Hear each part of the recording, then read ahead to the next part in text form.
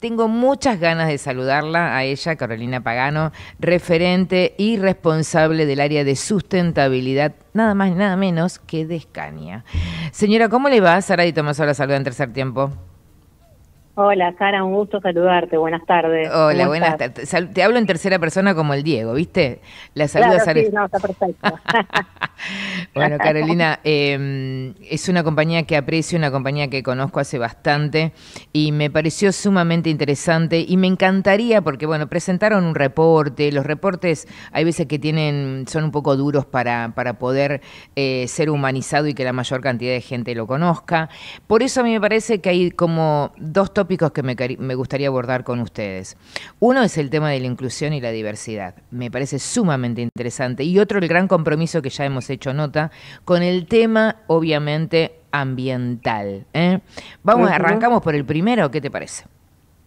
Bien, bárbaro, Sara. Bueno, primero sí, como decías, lanzamos nuestro cuarto reporte de sustentabilidad y como vos decís, eh, a veces puede parecer un poco pesado, ¿no? De la lectura y demás, este, por, por el largo y por toda la información que tiene, pero a mí me gusta mucho ver el reporte como una fuente de, no solo material de consulta, sino una fuente de inspiración, ¿no? Y de contagio también entre organizaciones y personas que, que puedan este, acceder a él. Así que eso me parece que es lo más, lo más lindo creo que tiene el reporte. En cuanto a mm, el tema por ahí más de, de diversidad o de género que también nombrabas, hay uno de los grandes destacados que nosotros tenemos eh, de trabajo con la comunidad y en esto de achicar un poco la brecha de género en una industria tan masculinizada como la nuestra, es el programa Conductoras, que es un programa de, muy alto impacto que se lanzó en el 2019, muy este, eh, incorporado en nuestro ADN y en todo lo que tenemos expertise, ¿no? Porque es justamente eh, trabajar con mujeres conductoras en formación, sabiendo que menos del 1% de las licencias profesionales está en manos de mujeres, entonces hace, como digo, en el 2019 lanzamos este programa, ahora estamos transcurriendo la sexta edición. Por año eh, se forman o egresan 12 mujeres, con lo cual ya hicimos cinco ediciones, tenemos dos, 60 eh, mujeres egresadas y de las cuales un 77% ya consiguieron un empleo formal relacionado con esto, lo cual no es poco, eh, al contrario, y creo que lo lindo también, más allá del impacto que tienen estas mujeres, son las que están como más directamente impactadas es en, en sus espacios, en sus eh, entornos, en sus familias, en sus comunidades, ¿no? Este efecto como multiplicador. Sí, y, ahora sobre todo, eh, eh, perdón Carolina, te escuchaba atentamente, pero además este, cada vez que he ido a los, a los eventos en donde acompaña todo lo que es el proceso de, de una mujer que volviendo al tema de género, ¿no? Una mujer que maneja un camión, subirse el camión y todo eso, hay como un, un, casi te diría, una emocionalidad residual en las familias, porque lo he visto, que es un, nada, es muy power ver una mujer manejando un, no sé si eh, es un sesgo mío, pero es power, ¿no? ¿O, o no? Inclusive cuando escuchás las historias muchas cuentan eh, que por ahí vienen de familias, eh, conductores, que, los padres o los abuelos eran conductores de camiones y que siempre lo veían de chiquitas, pero no era algo como accesible ni que como que no era un espacio habitual para la mujer claro. y sin serlo, ¿no? Entonces como que ni, siquiera lo veían como una posibilidad y poder acceder a eso, poder trabajar de eso cuando son trabajos, eh, muy buenos trabajos, con buenos salarios y demás, la verdad que es súper interesante el impacto que tiene eso. Sí, sí, sí, tiene un efecto residual. Eh, eh, Carolina, em, estamos hablando con Carolina Pagano, responsable de sustentabilidad de la compañía Escania. Y por el otro lado, también, em, eh, siguiendo con el tema de diversidad y género, puertas adentro también vienen escalando y mm, poniendo la lupa ahí, ¿no? Sí, también nosotros em, a ver, por un lado tenemos un comité de diversidad e inclusión que se formó hace unos cuatro años, que viene trabajando, además del comité de sustentabilidad que tenemos y que trabaja en, distintos ejes. Y después es como una mirada también que tenemos transversal, ¿no? Más allá de ese comité y en temas puntuales que se trabajan, tiene que ver con eh, poner el foco también en el programa, por ejemplo, Técnicos del Futuro, también en poder incorporar cada vez eh, más mujeres o incorporación de personas con discapacidad en nuestra fuerza laboral o inclusive en toda la cadena de valor poder este, tuvimos un lanzamiento muy importante de Super hace unos meses y dentro de lo que era el servicio de catering, por ejemplo, contratamos también de una ONG con la que nos estamos aliando, que son eh, personas con discapacidad que tomaron talleres de, cocina y que trabajaron eh, como mozos en ese evento. Entonces la idea es como ir haciéndolo cada vez más transversal, ¿no? A la interna, como vos decías, pero también en toda la cadena de valor. Eso creo que es lo que le va dando cada vez más eh, más fuerza, más valor y más significado, más relevancia ¿no? al tema. Vos sabés que en un ratito vamos a hacer una nota que mm, tiene que ver con el primer restaurante, eh, no sé si lo conoces, con de, todas personas neurodivergentes trabajan, eh, a la mesa y mirando un poco y, investigando bastante eh, este nuevo concepto del desarrollo próximo, es decir, no mirar desde la soberbia de la persona que eh, dice, bueno, yo incluyo, sino entender qué es lo que pasa con el desarrollo del otro y mirar desde ahí desde la persona con discapacidad, con discapacidad. Y en un ratito vamos a hablar con, con el restaurante eh, quien pensó este proyecto, que es el médico Polak, eh, eh, a la mesa. así que te escuchaba recién.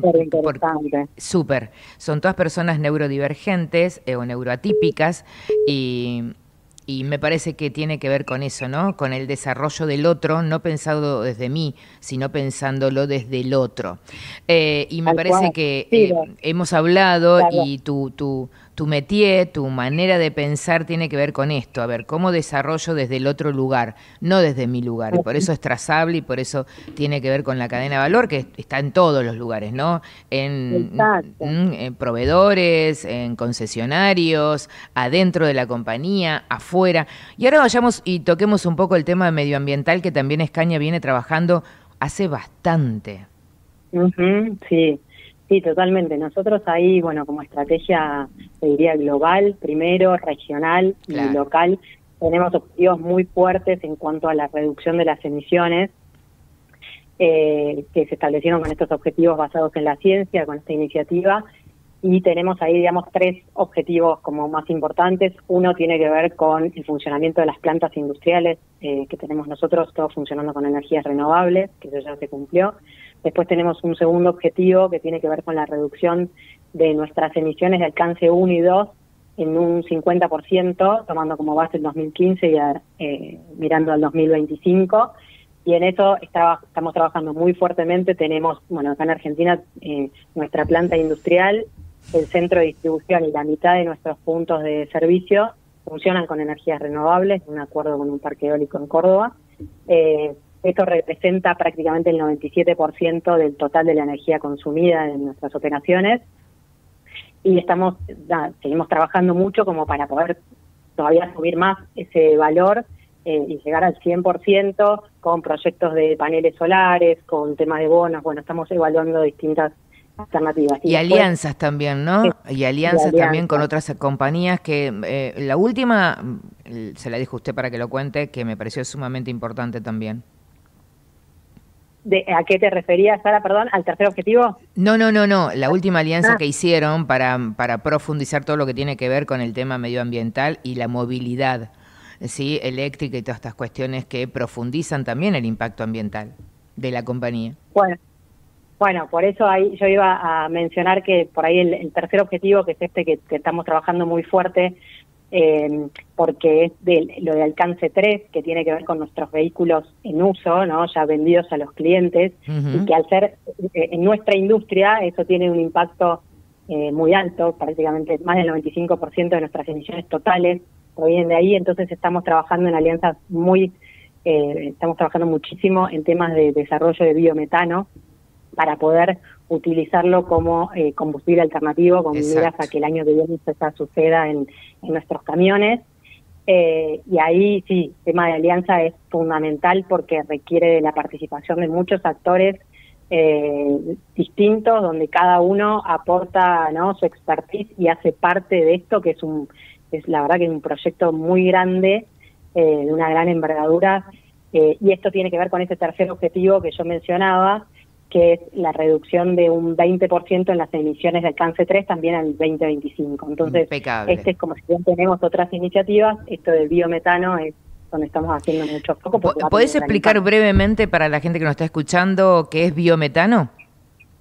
Sí, el biometano es eh, el biogás, es decir, son los residuos orgánicos, ¿no? mediante los cuales se genera este biogás y después mediante un proceso que se llama de upgrading, o sea, mejorar la calidad de, ese biogás para llegar al biometano. Y ese biometano, en los camiones que nosotros hoy eh, tenemos eh, fabricados y comercializados que funcionan a gas, el mismo camión que funciona a GNC puede funcionar a biometano, o sea, es exactamente la misma tecnología. Con lo cual nosotros cuando eh, hablamos tanto de los vehículos a gas, de esta línea viene Efficiency que, que tenemos, eh, hacemos mucho hincapié en eso porque lo vemos como una generar una masa crítica de esos vehículos como para eh, luego poder ingresar con fuerza con el tema, con el biometano, ¿no? Eh, Carolina Pagano, responsable del área de sustentabilidad de Scania, compañía que aprecio y que la verdad que cuando se le hacen observaciones rápidamente levantan este, esa alerta y se ponen en marcha y la verdad que es sumamente interesante, con mucha innovación, logra resultados impactantes. Pero me gustaría que usted cierre la nota, eh, como a usted le parezca, y agradeciéndole el tiempo.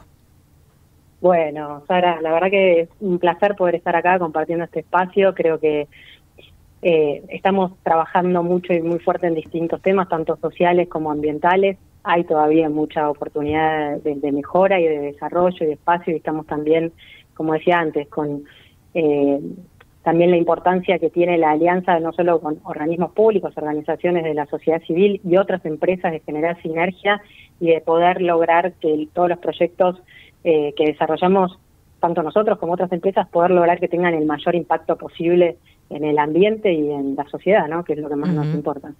Y sé que así lo hacen. Señora, muchísimas gracias por estar hoy en este día de mucha lluvia. ¿Dónde está usted? Porque acá me dicen en la radio que la ciudad está terrible. Bueno, yo traje paraguas. Estoy en Escobar, sí, ah. está, brava la ¿Y llueve mucho ahí? Sí, está lloviendo bastante. bueno, bueno, póngase al, abrigo de algún techo. O si ya imagino que bueno. Gracias. un, gran abrazo, un gran abrazo, un gran abrazo. ahí hablábamos con Carolina Pagano em, desde el área de sustentabilidad de Escania, eh, una compañía que realmente es sumamente, pero realmente de mucha innovación, eso de sentir que, em, que eh, eh, la marca tiene ese nombre tan fuerte y tan de tanto impacto en los argentinos, hasta inclusive ese meme, ¿no? Me, me llevo una Escaña arriba, me voy con una Escaña, tiene que ver con eso. Tenía muchas ganas de hablar con ellos.